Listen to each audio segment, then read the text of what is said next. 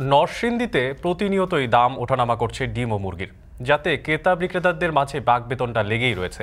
বাজার দর নিয়ে শিক্ষা চত্বর বাজার থেকে বিস্তারিত জানিয়েছেন রাকিবুল ইসলাম। বেশ কিছুদিন ধরেই নরসিংদীর বাজারে মাংস এবং ডিমের দাম উঠানামা করছে প্রতি সপ্তাহে। আজকের বাজার ঘুরে যেমনটি দেখেছি যে গত সপ্তাহে যেই ডিম বিক্রি হয়েছে, অর্থাৎ যেই মুরগির ডিম বিক্রি হয়েছে বিয়াল্লিশ টাকা প্রতি হালি সে একই ডিম কিন্তু চলতি সপ্তাহে আজকের বাজারে এসে বিক্রি হচ্ছে প্রতি হালি পঞ্চাশ টাকা।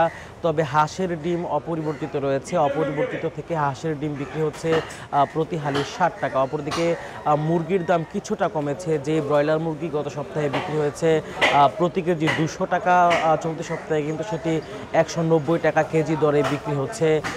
অপরদিকে কর্ক মুরগির দাম কমেছে, কেজিতে সর্বোচ্চ ত্রিশ টাকা পর্যন্ত। গত সপ্তাহে যেই কর্ক মুরগি বিক্রি হয়েছে তিনশো ষাট টাকা, চলতি সপ্তাহে এসে সেটি তিনশো ত্রিশ টাকা থেকে শুরু করে মানভেদে তিনশো চল্লিশ টাকায় বিক্রি হচ্ছে। অপরদিকে গরু এবং খাসির মাংসের দাম অপরিবর্তিত রয়েছে।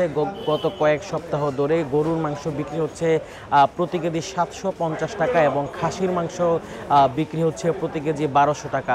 তো এই যে দামের উঠানামার পেছনের কারণ হিসেবে বিশেষ করে ডিমের দাম বেড়েছে। এর কারণ হিসেবে বিক্রেতারা বলছিলেন যে প্রচণ্ড গরমের প্রভাবে খামারে অনেক মুরগি মারা যাচ্ছে যার কারণে আসলে ডিমের পর্যাপ্ত উৎপাদন পাওয়া যাচ্ছে না। বাজারে ডিমের আহ, কিছুটা ঘাটতি রয়েছে। সেই ঘাটতি বা সংকট কমে গেলে ডিমের দাম আবারও কিছুটা কমবে। অপরদিকে মাংসের বাজার দর নিয়ে তারা বলছিলেন যে, ঈদের আগে ঠিক আগ মুহূর্তে মুরগি এবং গরু, খাসি সকল প্রকার মাংসের দরদাম কিছুটা বাড়ার সম্ভাবনা রয়েছে।